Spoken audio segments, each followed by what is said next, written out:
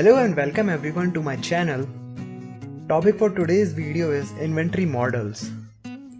Basically in this video we will be covering two models that is Q model and P model. So let's begin with what are different inventory models are there. So inventory models. There are two types of inventory model, single period inventory model and multi-period inventory model. So in multi-period inventory model, there are further two types of models that is fixed order quantity model and fixed time period model. The fixed order quantity model is called Q model and fixed time period model is called P model. It is in multi-period inventory model. And in Q model, there are two types of model, Q model with safety stock and Q model without safety stock. So in this video, we will be covering fixed order quantity model that is Q model and fixed time period model that is P model. So let's start with fixed order quantity model that is Q model. In this model or system, a fixed quantity of material is ordered whenever the stock on hand reaches the reorder point. The fixed quantity is nothing but the economic order quantity, that is how much to order fixed order quantity model with safety stock. So the diagram of fixed order quantity model with safety stock is there are three lines that is maximum level, reorder level and minimum level and below minimum level there is a safety stock.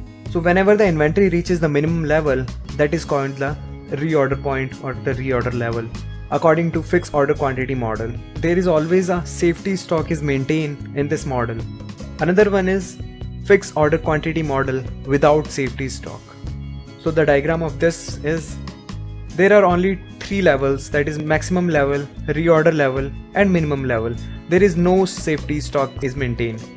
So whenever inventory reaches the minimum level that is called the reorder point and in this model inventory decreases at constant rate. Now the fixed time period model or P model.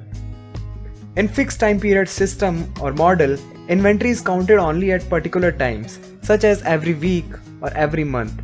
Counting inventory and placing orders periodically are desirable in situations when vendors make routine visits to customers and take orders for their complete line of product.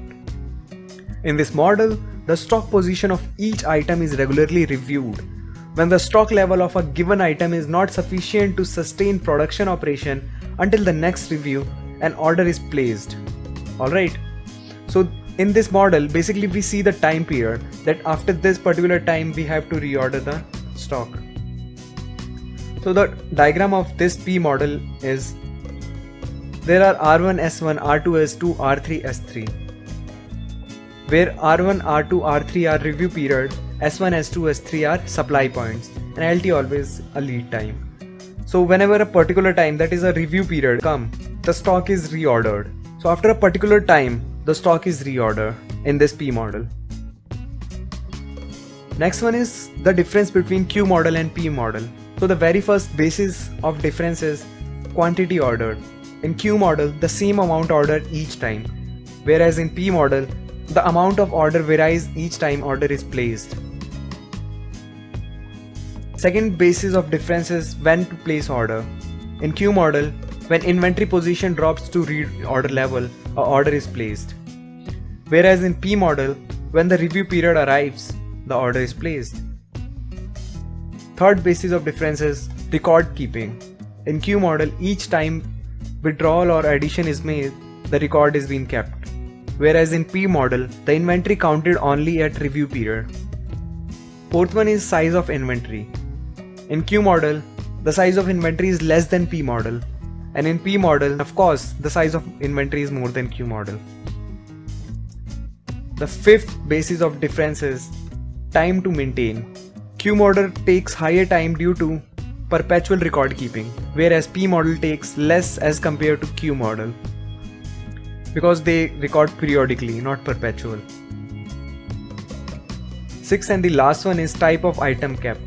In Q model, critical, important and high price item are kept and in P model, cheaper, non-important items are kept or recorded. So that's all about today. Hope you like this video. Please give this video a big thumbs up and don't forget to subscribe to my channel. Thank you so much.